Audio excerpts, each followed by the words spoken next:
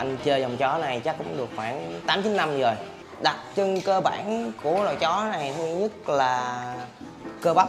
Và đặc biệt dòng này mình phải cắt cái lỗ tai. Mình thẩm mỹ mình muốn đẹp mình muốn nó ngầu thì mình cắt nó thôi. Thật sự ra thì nó nó hiền lắm. Gặp người lạ thì nó rất là thân thiện. Nó cũng không sổ tiếng nào hết trơn á. Nó, nó giỡn nó cũng cái giỡn như tao luôn cái dòng này khó khăn nhất là về cái nhiệt độ sống ở đây. Khoảng 27 28 độ là là ok nhất. À, mình mình nuôi ngoài trời thì mình gắn quạt còn mình cưng hơn thì mình bỏ vô phòng mình bỏ chó nằm máy lạnh. Ờ, một ngày thì trung bình ba con này ăn khoảng 6 kg ức gà. Rồi kèm thêm thì mình lâu lâu mình cũng có dặm thêm thịt bò để cho nó đỡ ngán.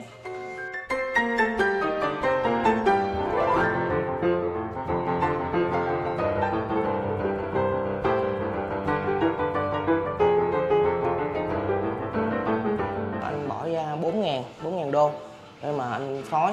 Thì lúc mà mới sinh ra thì được 8 con mà cũng được một thời gian thì khoảng chừng vài ngày sau thì ờ, sáu con bị yếu quá chết đi. Thì lúc đó cũng buồn lắm. Ba con này thì anh không bán anh giữ lại anh làm giống. Chỉ giá cũng khoảng 15 ngàn. Cũng có nhiều người là người ta, là người ta nuôi chó để giữ nhà. Nhưng mà thật sự cái giống này hiện quá trong nhà không được. Mình nuôi là một cái đam mê một cái sở thích của mình thì lúc đó ờ, anh coi nó như là một cái thành viên trong gia đình vậy.